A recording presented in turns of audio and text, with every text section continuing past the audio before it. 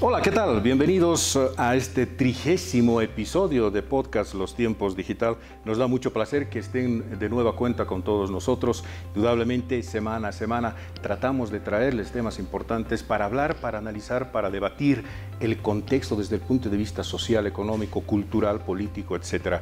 Si le gusta este contenido, por favor, dele eh, un like, denos un like, comparta por favor nuestro contenido. Estamos en las distintas plataformas, en eh, estamos en YouTube, estamos en Spotify y obviamente en la plataforma del periódico Los Tiempos www.lostiempos.com. Semana a semana siempre tratamos de eh, agradarles y de poder traer temas importantísimos de la coyuntura. Bueno, para hoy tenemos un invitado muy especial. Hablaremos de empresas, Indudablemente, esa palabra que parece cabalística, sobre todo en estos momentos tan complejos desde el punto de vista económico, no solamente a nivel departamental, a nivel nacional, pero sobre todas las cosas también a nivel mundial. Tenemos la grata presencia del ingeniero Luis Larredo Arellano, él es presidente de eh, los empresarios privados de nuestra ciudad. Entre otras cosas, ha sido reelecto eh, por unanimidad por el periodo 2023-2025. A ver si en estos 40 minutos nos aproximamos un poco a esas temáticas tan complejas en nuestra ciudad, en la yachta, sobre todo crear empresa crear eh, dinamismo, reactivar económicamente la ciudad, la microeconomía, la mediana empresa y la macroeconomía. Ingeniero, muchísimas gracias por estar en Podcast Los Tiempos. Eh, le agradecemos sobre todo su presencia. Gracias por aceptar la invitación. No, Rudy, más bien al contrario, para mí eh, un privilegio estar aquí en Podcast Los Tiempos y poder abordar ciertos temas que son de interés regional, departamental y nacional porque realmente estamos viviendo situaciones complicadas, complejas eh, a nivel nacional y mundial y, creo que no podemos estar exentos de poder hablar de estos temas que realmente son muy complicados en este momento. Exactamente, ingeniero. A ver, desde ese punto de vista, bueno, tengo varias preguntas, pero la primera que me asalta es después de una larga pandemia, casi tres años y más de pandemia, tomando en cuenta de que nuestra, nuestra economía es muy frágil, sobre todo la economía cochabambina y la economía nacional, indudablemente, ¿cómo llegamos al final de 2023, con qué, con qué pie empezamos el 2024, tomando en cuenta también muchísimos derroteros y obviamente muchísimos proyectos, siempre, siempre en función de lo que significa crear empresa en Cochabamba. Sí, la verdad que después de una pandemia tan eh, que ha sido una, una, época que ha golpeado mucho a, muchos ciudadanos, a muchas empresas, a muchas economías a nivel mundial, eh, muchas empresas cochabambinas de varios sectores, después de, cinco meses de haber estado paralizados, han podido recién eh, el 2020 poder iniciar de a poco sus, sus operaciones. Definitivamente no habíamos estado pues con una economía tan blindada que nos hacían creer que estábamos que no iba a pasar nada y que realmente Bolivia estaba muy bien. Pero definitivamente creo que esto ha, desnudado de que la fragilidad de la economía de nuestro país, habida cuenta que eh, hemos tenido problemas sociales, la pandemia y todo aquello, realmente ha sido una situación muy complicada para el sector empresarial. Eh, definitivamente el 2021, eh, después de haber pasado todo lo, que ha pasado en, en el tema de la pandemia, bueno, el 2021 ha sido realmente Creo que todo el mundo ha empezado a producir, a, querer volver a hacer la normalidad, pero lamentablemente eh, eh, la economía no ha hecho de que, eh, no ha seguido, digamos, con ese ímpetu que todo el mundo estaba pensando que iba a volver.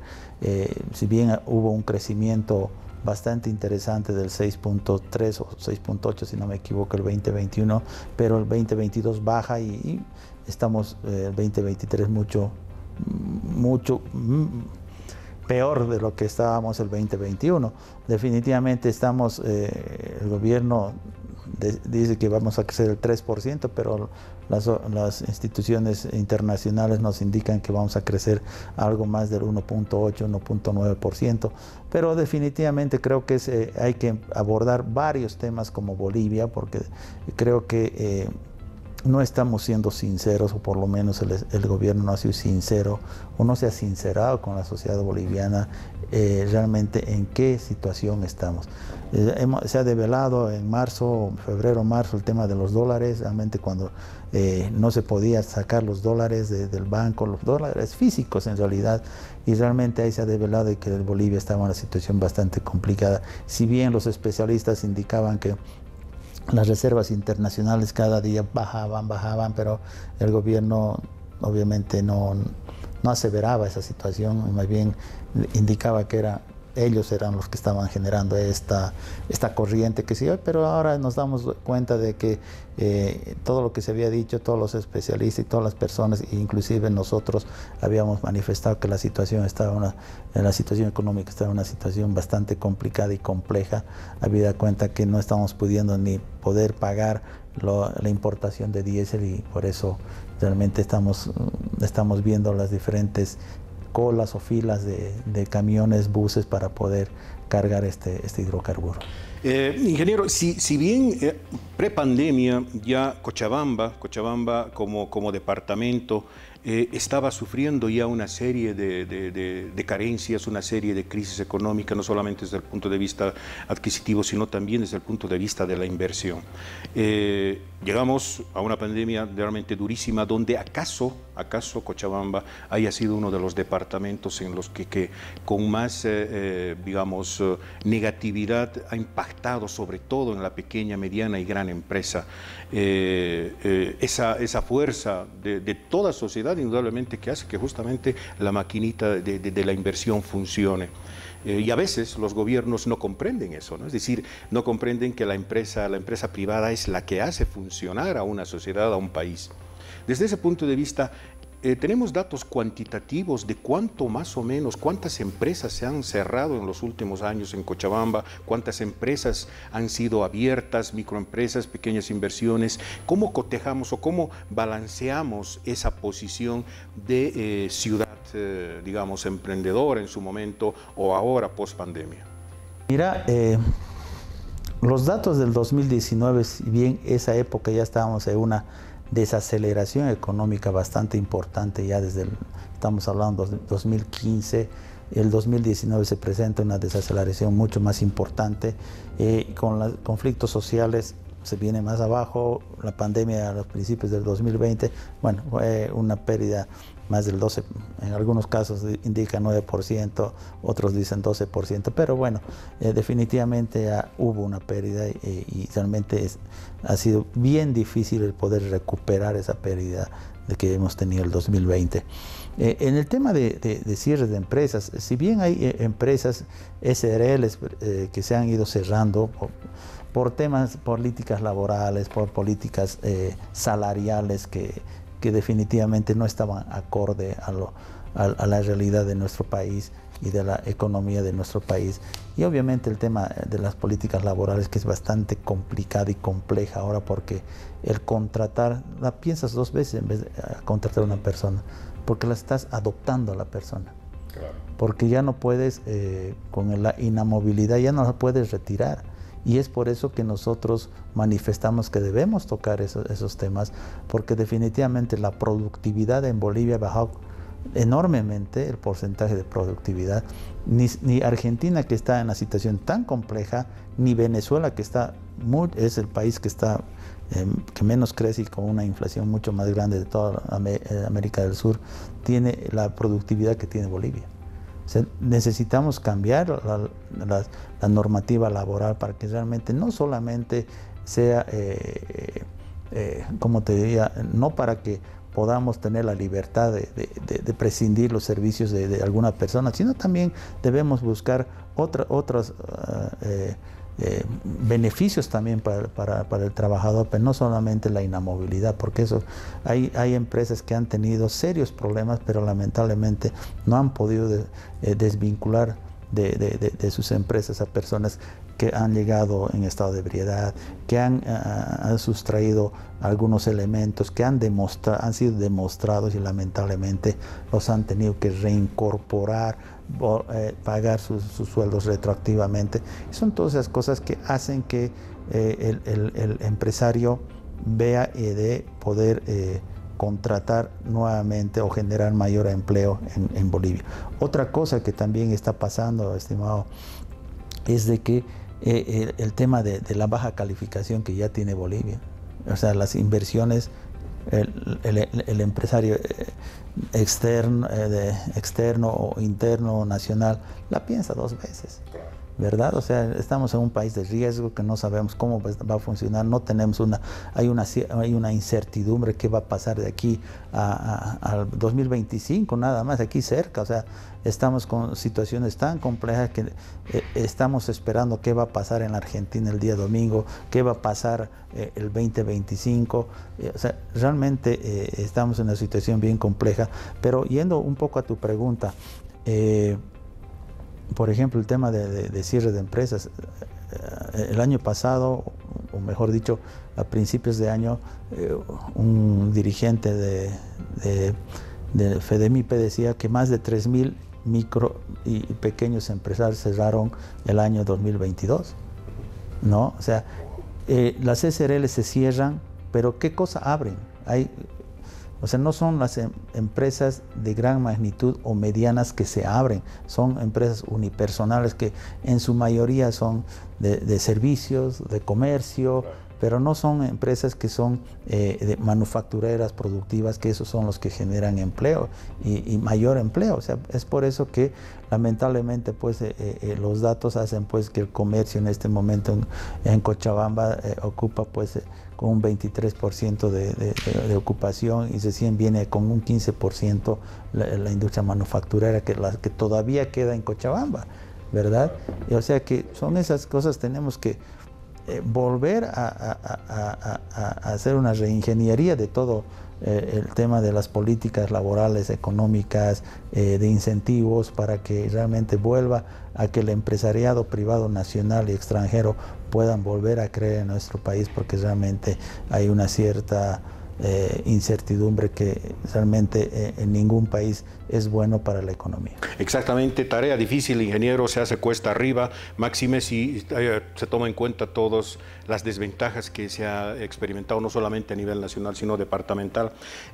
mi pregunta tiene que ver con lo siguiente, en este periodo 2023-2025, usted como presidente seguramente pues tiene proyectos importantes a mediano, corto y largo plazo tomando en cuenta todo lo que usted ha mencionado. Es decir, por ejemplo, no tenemos seguridad jurídica. No hay seguridad jurídica de los inversores, tanto nacionales cuanto internacionales. No hay seguridad de transitabilidad, por ejemplo, los distintos bloqueos son los que prácticamente dañan casi de una manera irreversible a, los empresarios desde ese punto de vista, pese a las circunstancias, pese, a este gran mal momento que se está viviendo, no solamente desde el punto de vista económico, sino también de las inversiones, etcétera, ¿cuáles son esos proyectos, esos derroteros eh, que usted eh, eh, pretende enfrentar a lo largo de estos dos años? Mira, la verdad que hay muchas cosas por hacer que quisiéramos hacer, pero lamentablemente primero hay que ir solucionando ciertos problemas. Primero, eh, el tema de avasallamientos. Eh, realmente en Cochabamba eh, el 25% de los avasallamientos del país se da en Cochabamba. Es por eso que por esas, por esas actividades de avasallamientos, el sector lechero, darte un ejemplo, el sector lechero, hemos bajado, y no solamente por el avasallamiento, sino por el tema del contrabando, ha bajado el consumo, la producción de leche en más de 40% aquí en Cochabamba, precisamente porque eh, donde cultivaban los alfalfares para dar alimento al ganado, se han avasallado.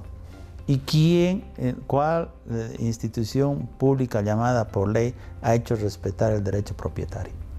Nadie. Más bien hay complicidad de algunos malos funcionarios, hay clanes criminales que se dedican a avasallar terrenos, sean públicos, sean privados, sean productivos, lo que fuese, están al orden del día los avasallamientos y no hay quien pare, no hay quien sancione a estas bandas, yo los llamo bandas criminales porque realmente eh, están, eh, amenazan, amenazan con las familias, eh, toman rehenes, ya son, gente criminal. El tema de avasallamientos del sector minero en Cochabamba, tú sabes que, que Cochabamba es ya un departamento minero por excelencia. Estamos hablando casi del 40% en el sector minero metálico y, eh, y el 60% de minería no metálica. Y no nos referimos a, ser extractivistas. En el sector minero no metálico ya Cochabamba genera ya valor agregado a, los, a los productos mineros no metálicos. Y obviamente con el tema del oro, realmente Cochabamba ha ha superado, digamos, en la producción del oro precisamente por eh, eh, este tema, porque el valor del oro a nivel internacional está bastante interesante y es por eso que Cochabamba ha, crecido mucho en la producción de oro. Y también en este tema de la minería hay también avasallamientos por comunarios que a las empresas privadas que tienen sus sus contratos mineros, sus, sus, eh, cuadrículas debidamente eh, hechas y entregadas por la JAM, no estos comunarios ya eh, con el nombre de cooperativistas entran donde ya está todo hecho, sacan y no dejan entrar al, sector privado porque creen que ellos son dueños de, del lugar y, bueno, eh, y no hay quien haga prevalecer el derecho del, del, sector del privado en este caso. nosotros como, como como federación y como, minería, como la Cámara Minería, y yo te comento esto, fuimos una vez a hablar con el ministro precisamente para, para conversar estos temas. Y le dijimos, nosotros tenemos estos derechos, tenemos inclusive eh, eh, ya el juez había ordenado que se desaloje, que se lleve la, fuerza pública, pero nada, o sea, ni con, ni con un dictamen del juez han hecho prevalecer los derechos de, un, de un, de un eh, asociado de la Cámara Minería. Le hemos presentado eso al, ministro. ¿Qué, ¿Qué, me ha respondido? ¿Qué nos ha respondido? Mira, yo te puedo poner efectivos, efectivos policiales por 10 días. Más no puedo hacer. O sea, no hay sanciones para los que, que avasallan, todo está bien, o sea, no hay nada. Yo creo que hay una, una desproporción de, y, nos, sentimos pues discriminados también nosotros, ¿no ve? Para unos hay todo, como has visto hace, hace la semana pasada, los cooperativistas de productores de oro quieren pagar por la comercialización 4.8%. Pues ya, ya, o sea, no podemos aceptar aquello. Si a veces pagan regalías, a veces no pagan regalías, ahora quieren pagar el impuesto por comercialización 4.8, entonces todos pagaremos pues un impuesto de 4.8%. ¿verdad? Y así podemos ampliar el universo de contribuyentes para que todos paguen el 4.8 y si no estamos viendo de que si de que haya pues régimen simplificados y todo aquello, sino que todos paguemos 4.8 y listo. yo creo que hay que hay que cambiar eh, eh, y hay que, eh, como te diría, que la economía boliviana empiece a legalizarse, porque ya tenemos que empezar a, eliminar el tema del contrabando, el tema de la, informalidad y todo aquello que tenemos que ir luchando día a día para empezar a generar nuevos proyectos. ¿Cuáles son los proyectos que queremos hacer por Cochabamba? Mira, tenemos... Eh, el tema de, la, conexión vial con el Beni, que realmente es muy importante para el departamento de Cochabamba porque va a generar una oportunidad bastante grande para los empresarios cochabambinos y para los empresarios bolivianos, porque una vez que se haga esa interconexión vial, nosotros como federación hemos presentado una, una propuesta que sea un viaducto por encima del parque del TIPNIS. O sea, no tocamos el ecosistema, no tocamos nada porque es, sería como un puente encima. Obviamente es un poco más, eh, con mayor inversión, pero así dejamos de, eh, eh, podemos proteger nuestro medio ambiente, podemos cuidar el ecosistema que existe allá, pero sí va a ayudar a nuestra economía y a la economía de Bolivia, tanto para el Beni como para Cochabamba, poder generar oportunidades a nuestros empresarios y así Cochabamba se puede volver en una ciudad, en un centro logístico de distribución de carga, porque pueden, inclusive los, los productores de Tarija, eh, Chuquisaca, inclusive Potosí, pueden venir a Cochabamba y salir al norte eh, llevando sus productos al norte de Bolivia o si no exportando por el norte del Brasil, eh, que esa es la, la idea de todo esto y también y dar oportunidad a los empresarios cochabaneses para que hagan ese, ese, ese, ese comercio natural que siempre hemos tenido con el departamento del Beni, ¿verdad? Son esas cosas que, que podemos eh, eh, que queremos hacer, porque al final si tenemos esta conexión vial, imagínate cuánto disminuiría el precio de la carne.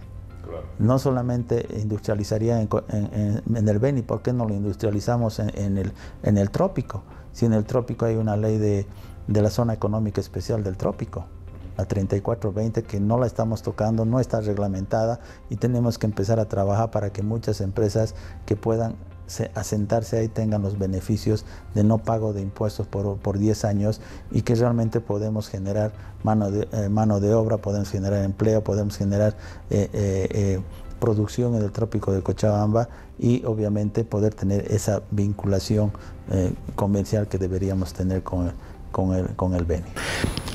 parece que, que, existiría o no, ingeniero, un contrasentido, es decir, eh, si no, necesitamos tener mucha formación económica para poder darnos cuenta que eh, eh, los que verdaderamente generan riquezas son las inversiones, o sea, el empresariado privado.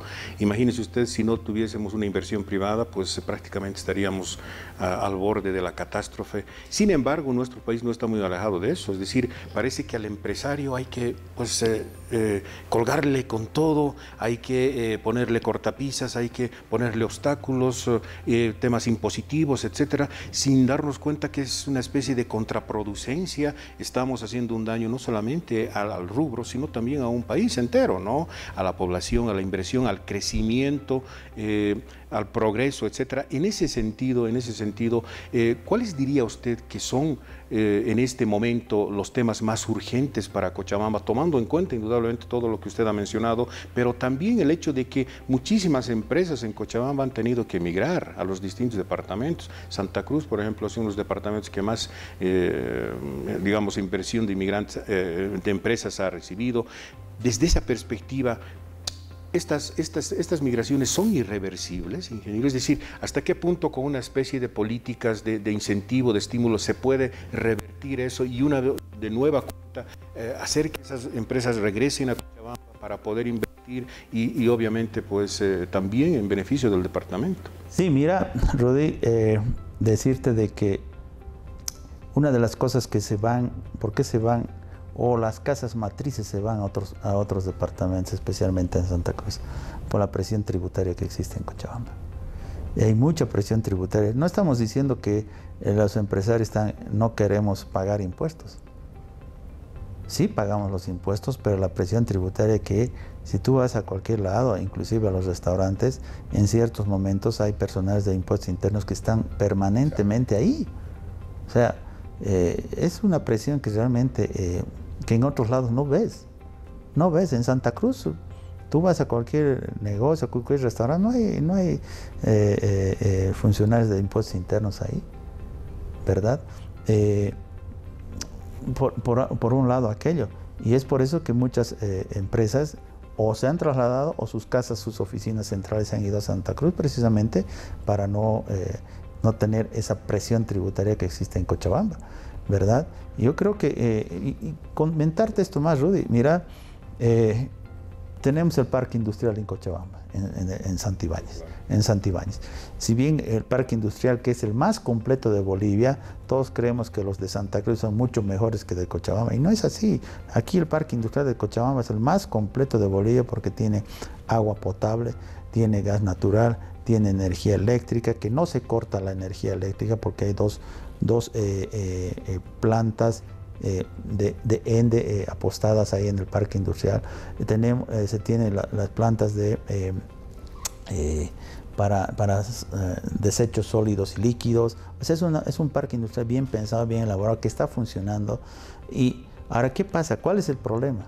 Que el municipio de Santibáñez quiere cobrar impuestos, habida cuenta de que hay, hay una ley que por siete años todas las empresas están exentas de, eh, impuestos y ahora el, municipio de Santibáñez quiere cobrar y está poniendo algunos valores inclusive más caros que los de cercado. O sea, ¿cuál? O sea, ¿qué estamos mostrando? O sea, estamos mostrando de que estamos queriendo hacer escapar a la inversión, al empresario, el que si no, hubiese habido el parque industrial en Santibáñez, ¿qué hubiese sido de esa población? Tú vas ahora eh, a, Santibáñez, hay, hay restaurantes, hay ferreterías, todas, eh, muchas personas de, de, ese municipio están trabajando en las empresas, ha generado una cierta economía alrededor de, de Santibáñez, eh, se ha construido la presa San Martín para que tengan eh, una parte es para el parque industrial y otra parte es para, para dotar de agua potable a la población de Santibáñez. O sea, nunca hubieran tenido eso. O sea, yo creo que más bien debemos generar ciertas condiciones necesarias para poder atraer más inversión nacional, extranjera, que se asienten más. Eh, gracias a Dios ya la primera fase ya está el 95% eh, eh, ocupada, ya se está trabajando en la segunda fase y son eso significa que está avanzando lo que es, pero si vamos a poner trabas y también tenemos que decir que que la cooperativa o el sindicato, mejor dicho, el sindicato de transporte de, de, de, Santibáñez no quieren que, eh, que, las empresas traigan sus propios, eh, sus propios transportes para llevar sus productos ya sea al interior o, o, aquí a la ciudad, porque ellos nomás quieren tener, ellos quieren acaparar, ellos quieren poner el precio, o sea, son, en vez de ayudarnos, colaborarnos, nosotros que sea un precio justo para poder trabajar, ¿por qué no? ¿Por qué siempre tenemos que estar presionando, decir, ah, no, los empresarios, que el empresario tiene plata, que el empresario... No, el empresario también se juega su capital, juega, hay momentos que está bien, hay momentos que está mal. ¿Y quién les reconoce eso? Claro, además que la posibilidad de inversión no tiene que ser un riesgo, ¿no? no un riesgo institucional, más bien tiene que ser un beneficio que obviamente pues se va a reflejar en los servicios, se va a reflejar en la ciudadanía, en el progreso, en el adelanto, etcétera. Entonces, hay cosas que lamentablemente son tan paradójicas que no se logra entender, ¿no? Es decir, en estos momentos, momentos tan complejos de una, ah, yo diría, crisis económica a nivel mundial, menos nosotros, nuestros, nuestros países de Sudamérica, que apenas estamos balbuceando un poco nuestra macroeconomía, eh, pues se hace cuesta arriba y el doble de esfuerzo. En ese sentido, ingeniero, me gustaría hablar de dos temas importantes que usted ya los ha mencionado que es el contrabando y la economía informal. En Cochabamba para nadie es un secreto que más del 50% tiene una economía informal. O sea, se vive en Cochabamba, pero no es la forma de vivir. ¿No? es la forma de hacer sustentable un departamento, no es la forma de hacer que un departamento sea emergente, que tenga su industria, que garantice el empleo, un buen salario, etcétera, etcétera. ¿Hasta qué punto estos dos factores Parece tonta la pregunta, ingeniero, pero ¿hasta qué punto han sido trabas y siguen siendo trabas? ¿Y qué se está haciendo, no solamente desde el punto de vista departamental, sino a nivel gubernamental? A veces hay... Eh, condescendencias en el tema del contrabando, por ejemplo, en el tema de la economía informal. Ah, por ahí surge una persona y dice, hay economía informal, eh, eh, la, la, gente está comprando, invirtiendo eso significa que nuestra economía está bien. Y no está bien, ¿no? No está bien para nada. Si hay economía informal es que algo no está funcionando. Claro que es una economía informal. Aquí, eh, por más que el gobierno no lo acepte, el 82% de la economía de Bolivia es, informal. Se maneja. El 18% es el que paga el impuesto, que es el legalmente establecido y que con esos 18% el Estado vive. El 82% es informal, no paga impuestos, tiene, tiene derechos pero no tiene obligaciones. Y, el, y uno de los mayores eh, eh, eh, que beneficia, si se quiere, al, sector informal son las alcaldías. Imagínate las alcaldías, tú vas, Cochabamba y es un mercado en las calles es un mercado, o sea, tú vas por la San Martín y ya están en las heroínas. Y el peatón ya no tiene. Ya no, o sea, tienes que, tiene que sortear los autos para caminar por lo menos por esas veredas. Y no es, perdón, y no es que estemos en contra, digamos, de eso. O sea, esa, a esa gente necesita tener un, trabajo seguro, ¿no? Eh, necesita trabajar, tener un salario digno, etcétera, y para eso, indudablemente, pues tiene que existir garantías, ¿no? Definitivamente, o sea, definitivamente, o sea, hablando de la informalidad nomás primero. las alcaldías aquí en Cochabamba, hablemos de cercado, porque esto se replica en todas las alcaldías, en todos los municipios de, Cochabamba y seguramente de Bolivia. Aquí en Cercado, tú vas por la San Martín y empiezas en la heroína y ya para abajo ya es un mercado. ¿No? ¿Por qué? Porque ya tú no puedes, como te digo, tienes que sortear eh, los autos para que no te pisen, porque por las veredas ya no puedes caminar, porque todo es mercadería y todo es informal. ¿Verdad? Ahora, eh, eh, también, no quiero decirlo, pero definitivamente eh, nuestra feria, nuestro recinto ferial que se se ha entregó la familia al sector privado, a la federación, para que hagamos ferias, se está entregando para Navidad a todo el sector informal para que venda. O sea, ¿dónde estamos protegiendo la industria nacional? ¿Qué estamos haciendo? No estamos en contra de la gente que quiera trabajar, no, pero trabajemos en las mismas condiciones con el sector formal, ¿verdad? Otra cosa, tenemos, estamos, y, en el tema del sector informal, la verdad que cada vez quieren tener mayores derechos eh, y no quieren tener ninguna obligación con el rótulo que ellos también el derecho al trabajo, ¿verdad? Pero esto es un secreto a voces y todo el comerciantado minorista, informal que existe en Cochabamba, pues tiene mayor capital que cualquier empresario que está aquí. ¿Verdad? y además en algunos casos está en el régimen simplificado. y para eso te iba a comentar. Nosotros la semana pasada eh, hemos ido, eh, la semana del 7 de noviembre, hemos ido a Yacuiba. A Yacuiba precisamente porque eh, eh Feicobol estaba haciendo la Feria Internacional del Chaco y aprovechamos de ir a Yacuiba precisamente para ver eh, la problemática del, contrabando. ¿no? Definitivamente usted va, pasa como debe pasar la frontera por el puente, registrándose, ir a dar una vuelta. En el lado boliviano lo he visto, nadie me ha contado, yo he ido por ahí. En el lado boliviano, dígame si había un oficial de policía o un oficial del ejército. Nadie, absolutamente nadie. Hemos hablado, eh, hemos ido investigando, qué sé yo, y obviamente hay los bagalleros que tienen sus carretillas que pasan eh, por el puente y eh, están, están en una asociación, son 1.200 personas que están en una asociación, 1.200 y las que no están en una asociación que los llaman independientes son entre 100 y 200 personas. Cada uno de ellos hace 10 viajes por día. Imagínense cuántos viajes de mercadería entra de 7 a 3 de la tarde, que a las 3 de la tarde cierra la frontera argentina y por ahí nadie pasa.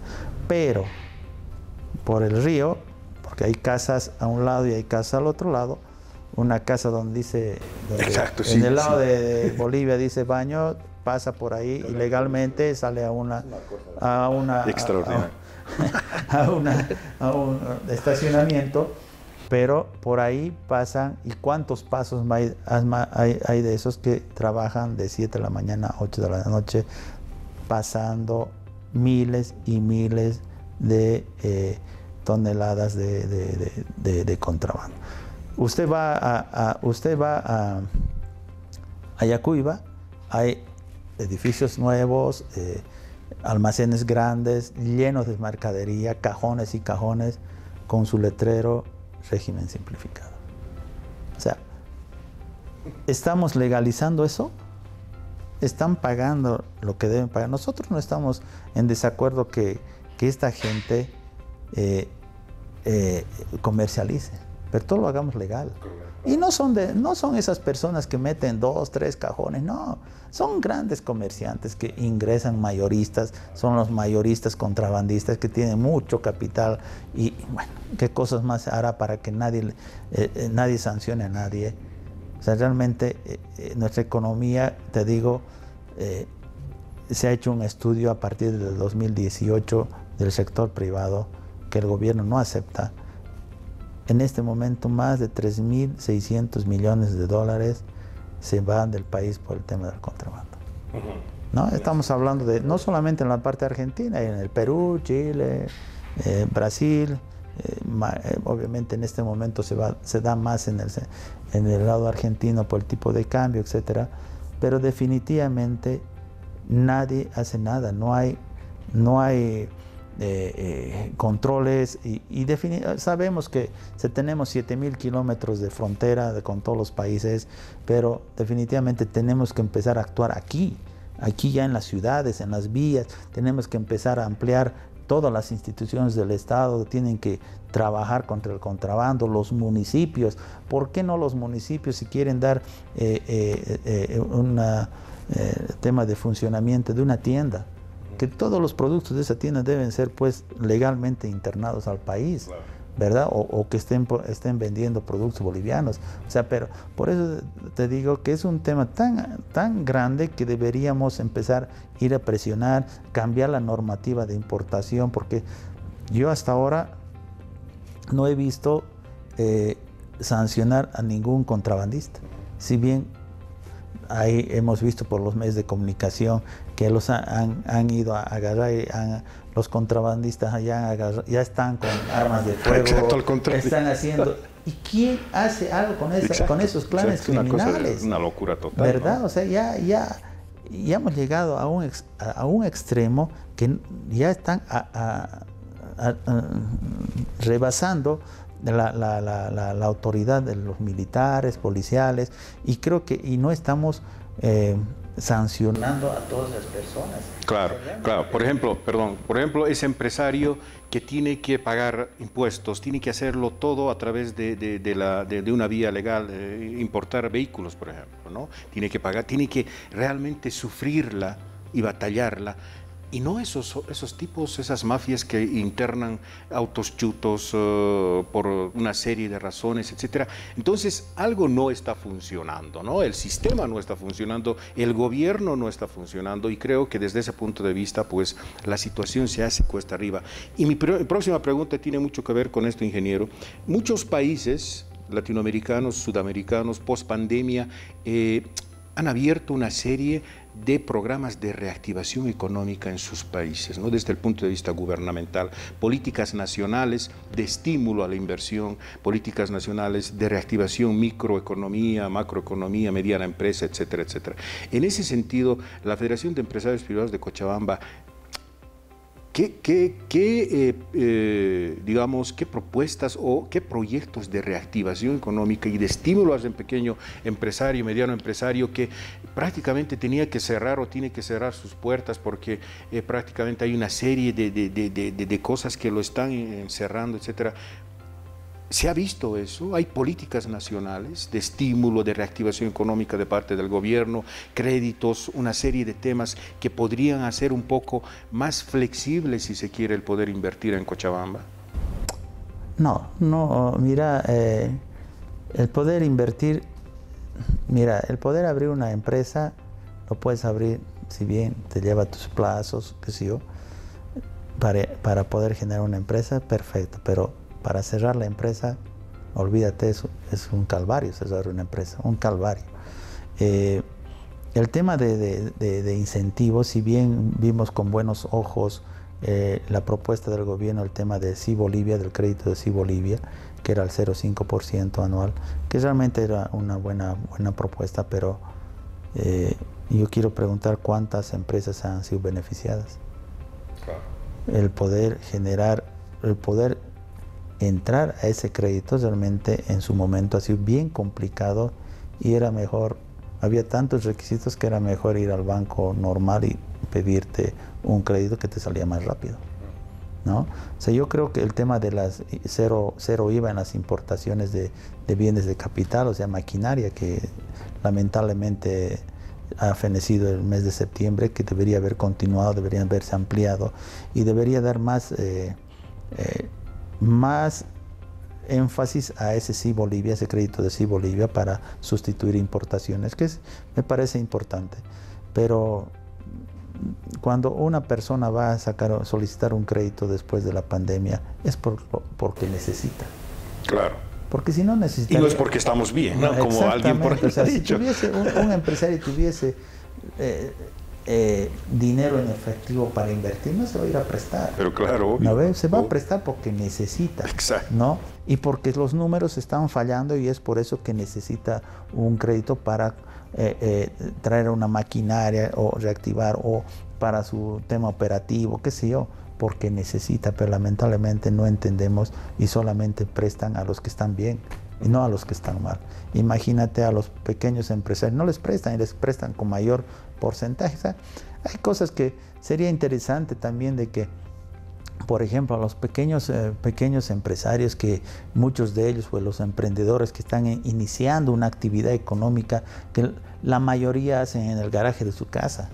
¿verdad? Así hay un espacio de 3x3, 4x4, dependiendo de la actividad, están haciendo. ¿Por qué no ellos eh, eh, formalizarlos, darles, el municipio, darles un, eh, liberales de, impuestos ese espacio que están ocupando para producir, todo aquello, pero todos aquellos que estén debidamente formalizados.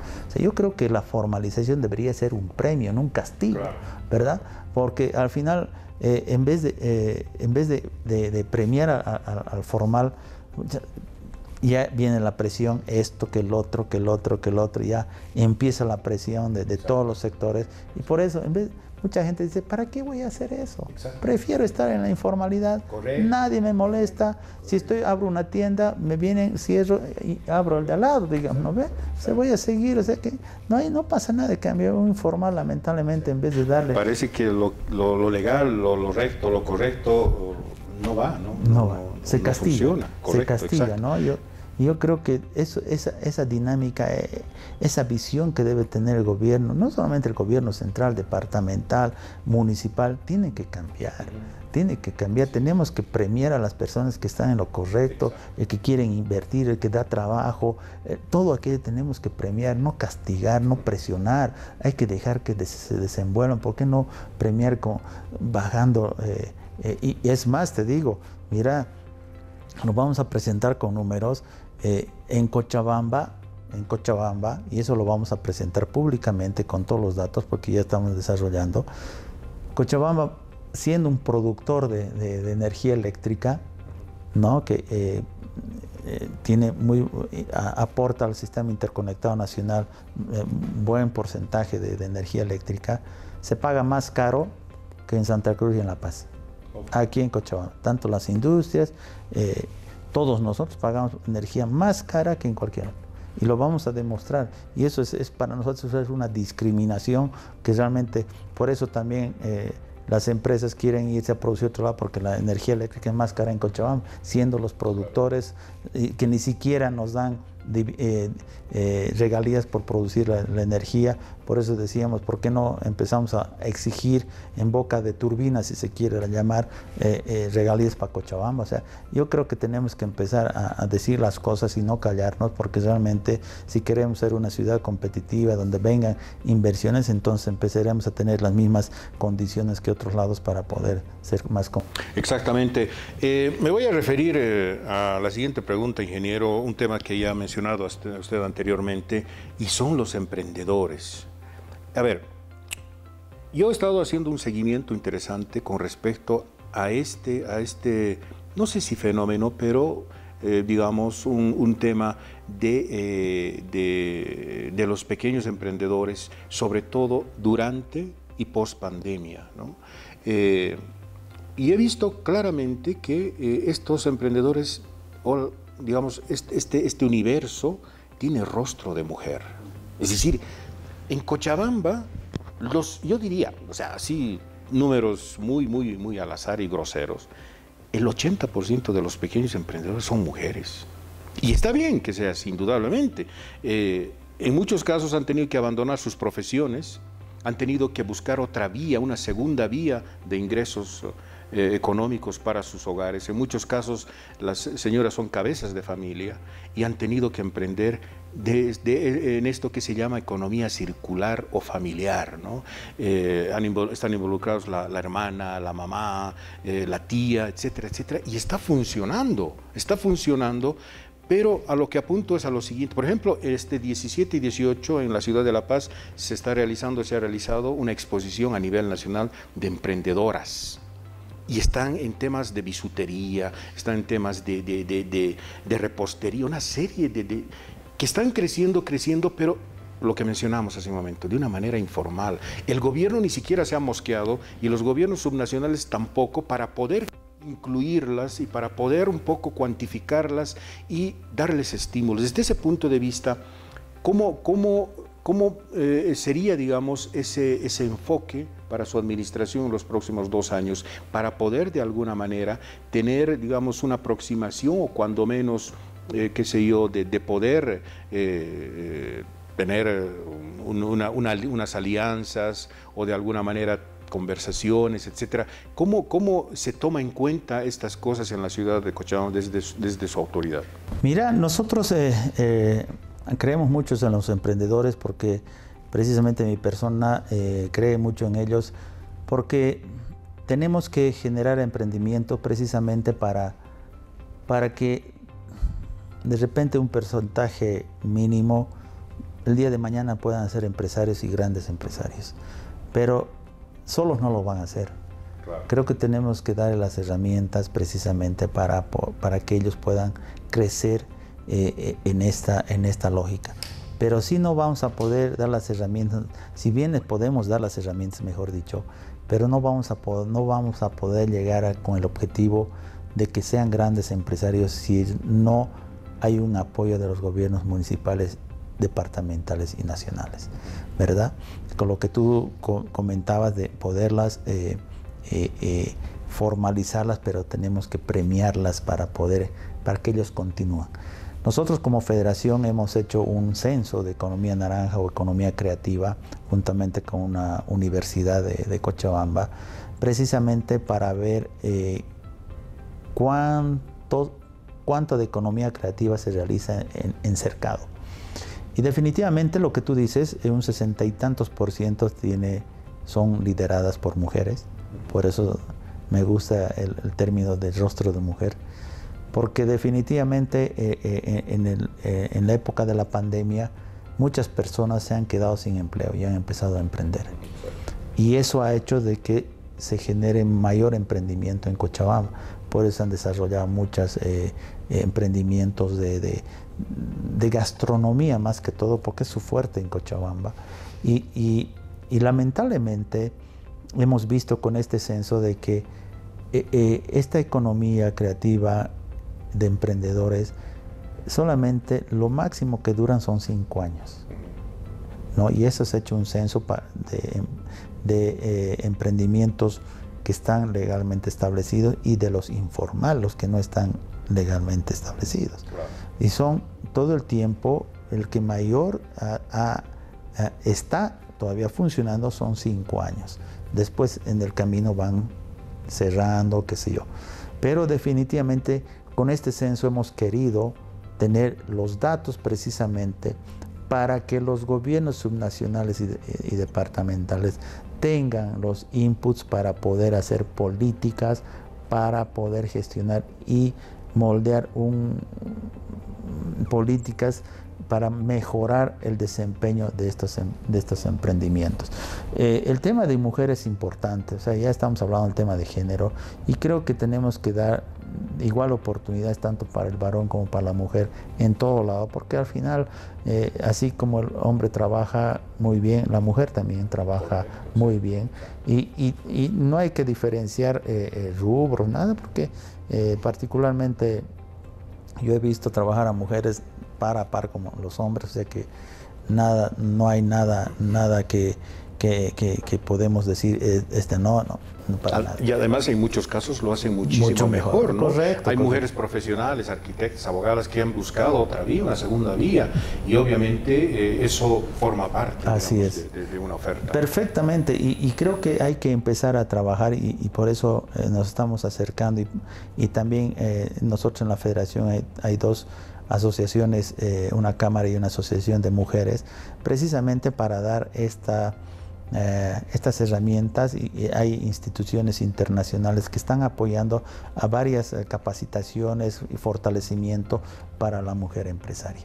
Y creo que eso tenemos que seguir eh, motivando, promocionando a todas las mujeres emprendedoras que quieren ser empresarias, porque hay, hay, hay mujeres, como tú decías, que están al mando de varias empresas y empresas grandes también que están al mando y tenemos que que ellas también tienen que aportar y apoyar a las, a las mujeres que están empezando recién en algún emprendimiento. Creo que eso con el valor compartido tenemos que empezar a trabajar y, definitivamente tenemos que dar una mirada seria a todo el trabajo de, la mujer, en este caso, de la mujer empresaria. Exactamente, ingeniero. Eh, dos preguntas más para no abusar de su amabilidad, pues tan gentilmente eh, aceptada. La primera tiene que ver con su administración.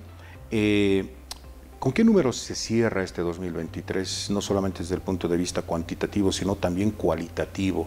Eh, indudablemente, dentro de, eh, sé perfectamente, sabemos que dentro de sus postulados está justamente el hecho de poder convertir a Cochabamba en, esas empresas que tengan conectividad, no solamente desde el punto de vista humano, sino también desde el punto de vista tecnológico, que creo que es muy importante. Las empresas eh, en estos, en estos digamos, rubros, eh, referidos a este tema eh, es una imperiosa necesidad. ¿no? Eh, ¿Con qué número cerramos, cierra su, administración este 2023 y obviamente pues un 2024 que seguramente es un gran desafío? ¿no? Sí, mira, la verdad que Cochabamba como departamento todavía estamos, si bien cada año está bajando y eso es, eso es importante, traemos más por decir si vale el término, importamos más que lo que exportamos. Tenemos un déficit de un poco casi llegando al 3%, pero ya es de lo que teníamos casi un 10% de lo que teníamos hace varios años atrás, ya hemos bajado y creo que eso es, eso es eh, lo positivo. Eh, si bien obviamente, como decimos, eh, no, es, lo no es lo mejor, pero estamos trabajando en ello.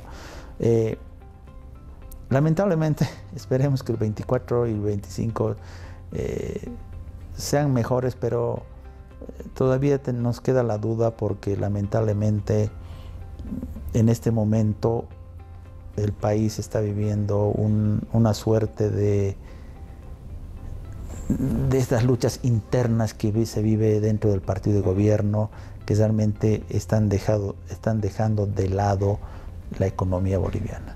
¿No? O sea, acusaciones fuertes, eh, peleas, esto y el otro, eh, están queriendo apagar incendios entre ellos. O sea, realmente eh, hemos visto también bloqueos de caminos por, por temas políticos, no, no por temas, por reivindicaciones o por pedidos de, ciertos sectores, que, que, realmente eso, eso pues afecta a la economía cochabambina y boliviana.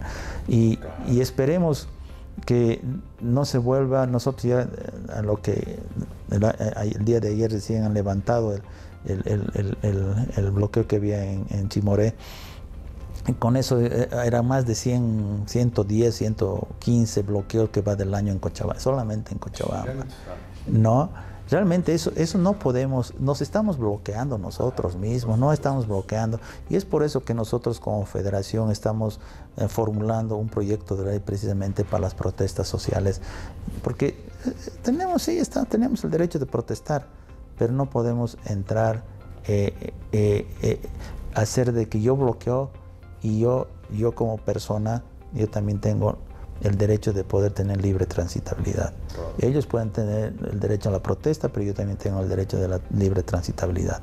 Yo creo que en base de eso y varios otros objetivos vamos a presentar un, proyecto de ley precisamente para este tema de las protestas sociales, que definitivamente no podemos hacer de que un problema doméstico que ha habido muchos en este contexto, que porque no, que el desayuno escolar no estaba bien o que le faltó el ítem a la escuelita, van a bloquear ciertas vías principales del país y no pueden moverse, no pueden exportar, no se puede mover economía, nada, y inclusive para el ciudadano común que tiene que agarrar dos, tres, cuatro eh, eh, buses para llegar a su trabajo, se está encareciendo. Sea, hay muchas cosas que no podemos bloquear eh, y después estamos pidiendo que haya mayor, eh, eh, que haya una reactivación económica, que por qué esto, por qué el otro, y sin embargo nosotros mismos estamos generando estos atrasos.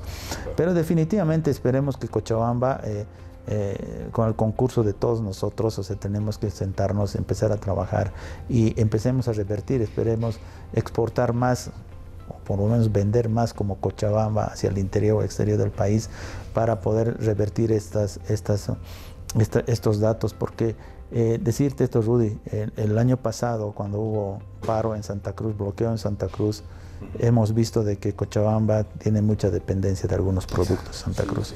Y eso tenemos que empezar a trabajar. Y uno de los proyectos míos que lo presenté a la gobernación y espero que lo tomen en cuenta, Cochabamba, si bien era el granero de Bolivia hace muchos años atrás, podemos volver a tener una gran importancia si podemos hacer una agricultura intensiva.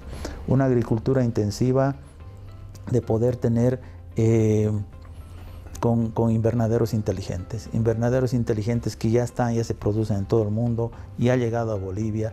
Eh, les he hecho les he presentado a la gobernación, la persona que trae, les ha explicado cómo funciona, les ha explicado a los productores agrícolas de Cochabamba para que puedan de repente la gobernación traer uno o dos pilotos para ver cómo funciona, porque eh, eh, solamente funciona con una persona, ¿no?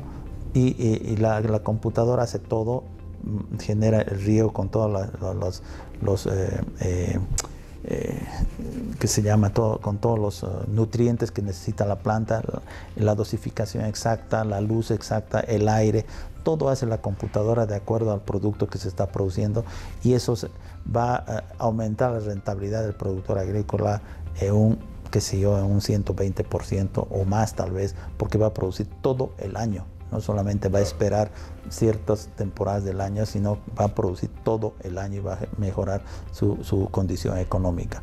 E, eso es uno. Otro, el tema de lo que te decía de, del tema de, la, conexión vial, pero tenemos que empezar y mirar más allá, o sea, no es tener la conexión. No te olvides que el Beni, en su frontera agrícola, han ampliado 9 millones de hectáreas, ¿verdad?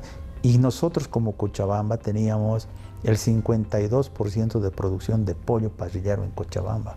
Ahora estamos con el 45%. ¿Por qué? Porque el alimento viene de Santa Cruz y lamentablemente los cruceños primeros dan a, sus avícolas de Santa Cruz y después eh, van, ¿no ve? O sea, tenemos que empezar a mirar allá para poder cultivar soya, maíz, sorgo y poder tener ya una como te decía, un, comercio natural que tenemos con el para poder traer ese alimento y no depender de un solo lado, sino tener la facilidad de depender de varios lugares y poder tener y volver a crecer el tema avícola en Cochabamba. Son varias cosas que podemos empezar a trabajar, pero si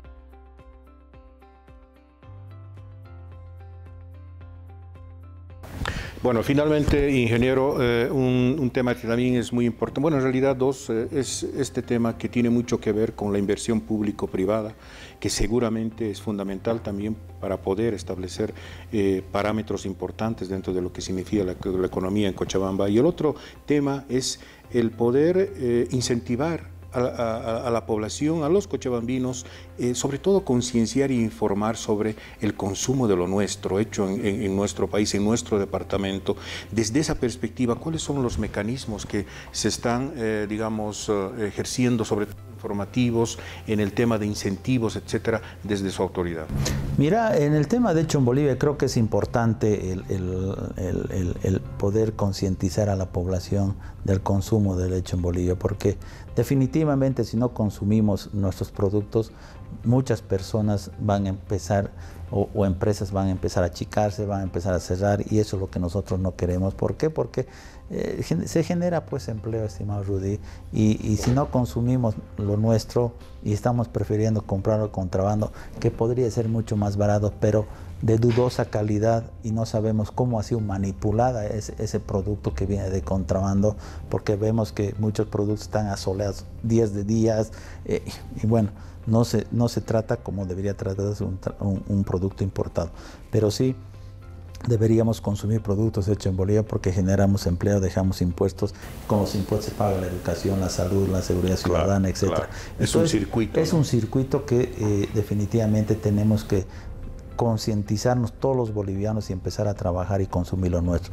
Precisamente nosotros en un par de semanas vamos a presentar el BAON, que es el valor de agregado de origen nacional, para definir qué productos realmente son hechos en Bolivia porque definitivamente hay muchos que traen, importan en tambores productos, lo envasan, lo hacen más chiquitito en envases más pequeños y ponen hecho en Bolivia.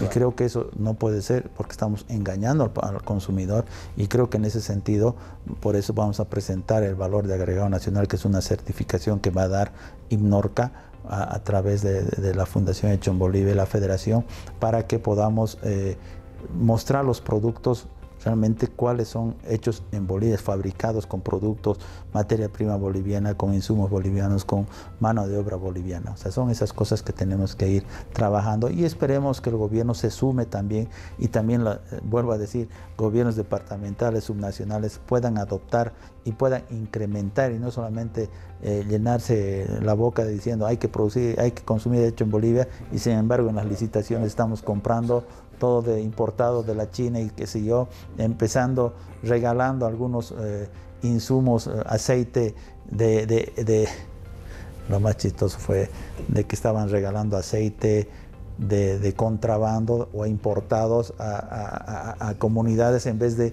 regalar aceite producido en Bolivia, ¿no? O sea, nosotros mismos nos estamos tenemos un discurso, pero estamos haciendo lo contrario. Creo que en ese sentido tenemos que, trabajar. El otra pregunta, mm, se me ha olvidado, si me puedes... No, le, decía sobre esta combinación que creo que en algún momento oh, es importante hablar, eh, la, combinación público-privada. Sí, definitivamente creo que eh, eh, la asociación público-privada creo que es importante porque se puede hacer varios proyectos. Pero sí, a base de, no solamente decir, ah, tenemos que hacer una asociación público-privada. Para hacer la asociación público-privada tiene que haber una cierta seguridad jurídica.